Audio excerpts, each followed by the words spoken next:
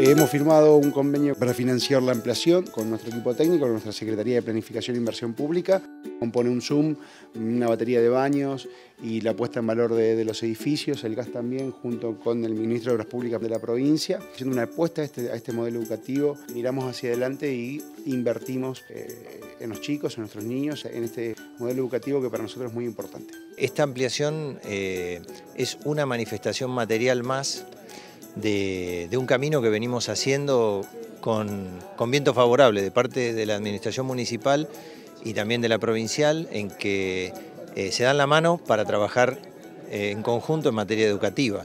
Para nosotros es un logro súper importante porque bueno, con la cooperadora venimos hace años eh, tratando de que se llegue esto y verlos hoy a los dos firmarlo, la verdad que es no sé, es inexplicable.